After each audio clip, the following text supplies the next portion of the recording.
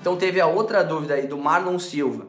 Ele nos perguntou qual o consumo de diesel da motobomba para o sistema irrigatinho. Ele é de Minas Gerais. Então, Marlon, para o sistema irrigatinho, a gente precisa utilizar uma motobomba de, em média, 16,5 CV. A potência é um pouco maior do que a elétrica, porque o sistema diesel ele tem uma questão aí de rendimento. Né? Como a aplicação é com polia e correia, a montagem dele é polia e correia, tem um pouco menos de rendimento, aí precisa usar uma potência um pouco maior.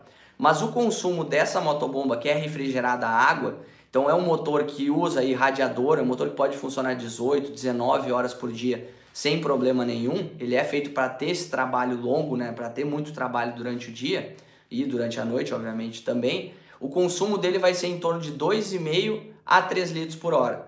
Litro do diesel, no caso, esse seria o consumo da motobomba do irrigatinho.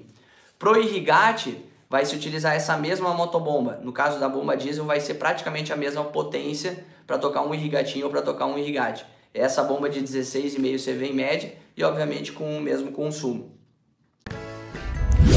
Se você gostou, curta este vídeo, assim postamos mais conteúdos como este. Até a próxima!